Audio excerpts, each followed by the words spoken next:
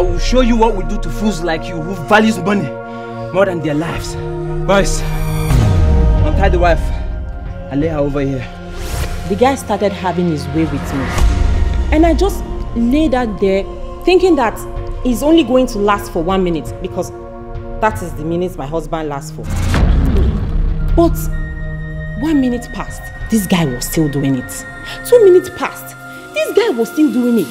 Three minutes passed, this guy is still doing the thing. Ah, And I started feeling something sweet, something wonderful, something I have never felt in my entire life. If let's say the woman enjoyed the level, we have to leave this place now. We may have missed our target. Let's go. This is your daughter's belonging.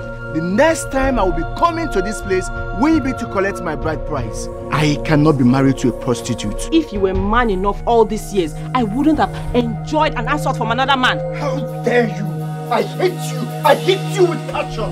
Ịbụ ni one minute man.